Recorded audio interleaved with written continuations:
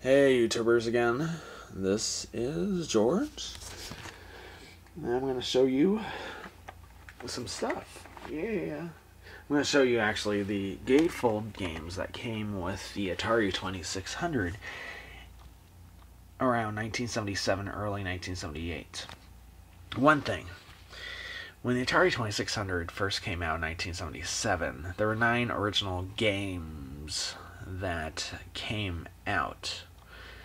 And they were Combat Air Sea Battle, Starship, Blackjack Indy 500, Street Racer Surround, and. Oh, wait. Video Olympics and Basic Math. I'm going to show you those today. At least most of them. Video Olympics seems to be missing. Uh oh. Here we go. Here's the first one. This is Combat. This is one that came in supposedly as a pack in game or soon after the Atari 2600 was released. As you can see, right here is the uh, horizontal seam from this. There are two versions of this combat game, and I'm going to show you both. For now, you have that.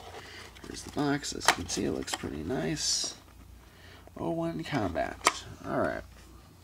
Here's the manual. Also in nice condition, I think. Okay. Now, to show you a not so nice condition box, what they would look like if it wasn't so good. But, this is a rarer boxed game.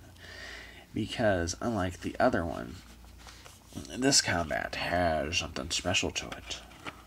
It has the O1 to it, but if you look, it has red around it. Yep, yep. And for this box, instead of a horizontal seam, there is a diagonal seam that seems to run about hmm, 30 degrees down. Here's the manual. It's about the same. As you can see, it's not as good condition, the box or the manual, but I still like this because it's such a rare thing. Just, I don't know. Hard to find. Harder to find than most people would imagine. Having the red label combat and also the box to go with it. Alright, next is, how about this one? Air Sea Battle.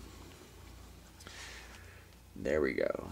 Yes, another one that looks like it's pretty good condition. It has a sticker on it. Okay, the edge isn't good, but there we go. No two. As you can see, this was a game where you shot at ships and ah, airplanes and all good stuff. And it was, it was a two-player game. It wasn't really a one-player game. Here's Air Sea Battle.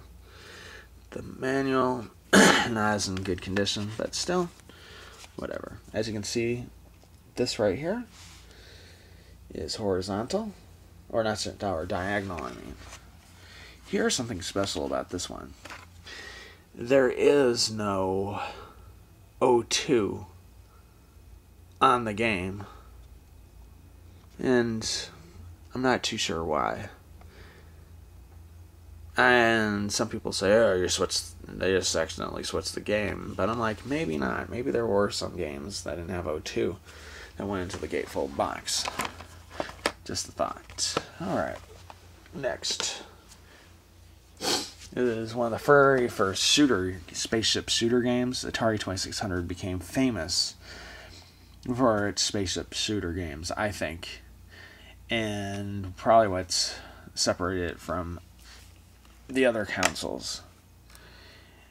And basically, I think Space Invaders was the reason for that. But they didn't have Space Invaders in 1977. So here's what we have Starship, as you can see. Again, the manual looks wonderful. The box is another dupe. Here we have this. Boom. As you can see, the box looks good, I think. And now a look at the game. All right. There we go. As you can see, it has the silver thing and the O3. All right, next. All right. Is mm, surround. Surround was one more popular game, I think. My guess is they probably made about 250 to 500,000 of these with the gatefold box. The combat you saw had about 500,000 to a million, I would suppose. As you can see, the box again is in wonderful condition for the most part. Yep. Mm-hmm. Mm-hmm. We open that game. Bum bum bum. No manual. That blows. This I don't know why that's like that, but here we go. Here we go. The 41. All the gatefold games also had the number attached to the game name.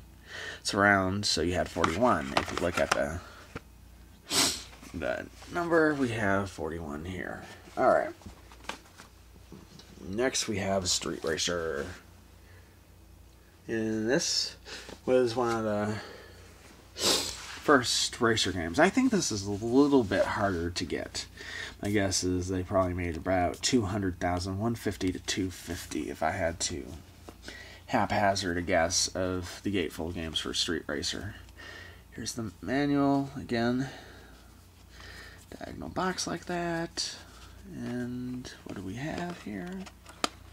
We have Street Racer, boom, boom. Alright.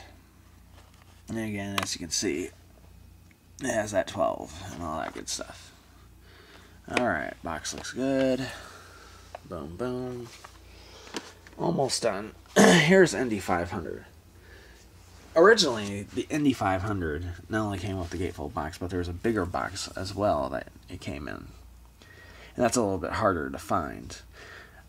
But I do have this. As you can see, there is the gatefold, the manual, and here is the game with the 11 Indy 500. I'd say the game's in decent condition. Yeah, except for that. Yeah. Alright. Alright. And that too. Alright, it's not the best condition, but I'm just happy to have it. Yeah. Alright, next. Blackjack. This is in decent condition. I'd say it's in really good condition for the most part. Yeah, you got that. But it's got its gloss. That's really nice. And then we open it up. Well, here's the manual. Again. Yeah. 1977.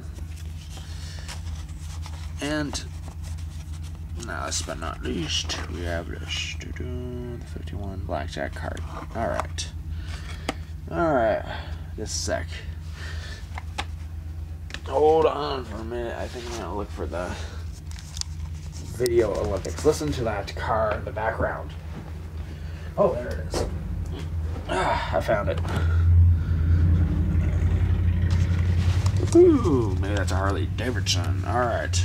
This is Video Olympics. This is one of the more popular of the nine games because Video Game Olympics basically was just another name for Pong and Pong Sports or whatever. And they made tons of Pong systems.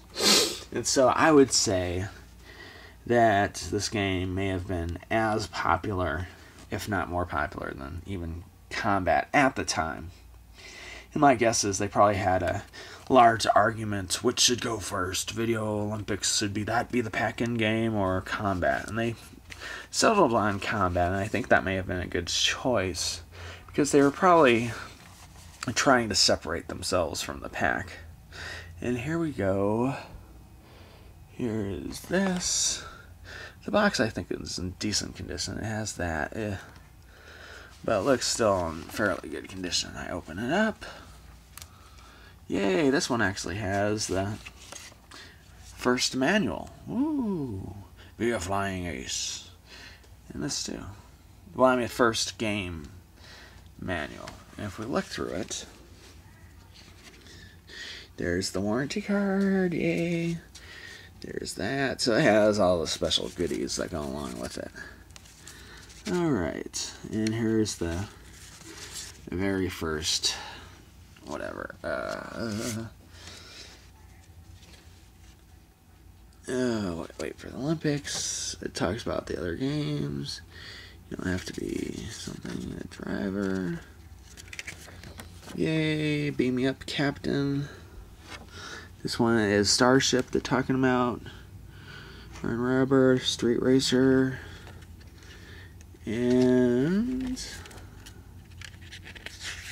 Ah, sorry. And then it talks about Trapped. This is um, Surround, Hit Me Blackjack. So it's basically the first nine games it goes over. This is hard to find, sort of, so it's kind of cool to have. And then here they have the paddles and the original Heavy Sixer driver paddle.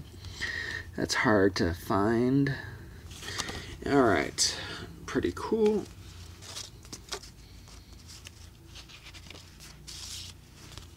Alright. They also, besides this, for whatever reason, had. Alright, where is it? Er, trying to put this back in.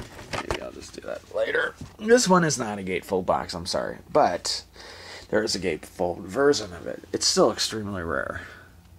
It is the basic math card game. And for whatever reason, people did not want to play a game with math in it. They were like, ah, math. that is not fun. Please do not. We do not want to buy this. And so this is on the rarer side. I probably would have to venture to guess that there were probably originally 50 to 100,000 of these games made. And as you can see this game, although it, even the non-gatefold box version is rare. It's probably even rarer than the gatefold box version. Because again, they soon after making it into this version, they discontinued it. And as you can see, the original owner didn't really care for this game because the box is in pristine condition. so, yeah, it's kind of nice to have. It's one of my beauties, and even though it's not um, really a gatefold box game, it's still a pretty nice game to have. It probably would go for at least 50 bucks. Yeah. If it was sold on eBay, yeah. Uh, I think. Alright. Well, that is my edition of the Gatefold Boxed Games. Hope you enjoyed it. Yeah, you might have been bored to death. Whatever. I'm signing off for this one. Have a nice day.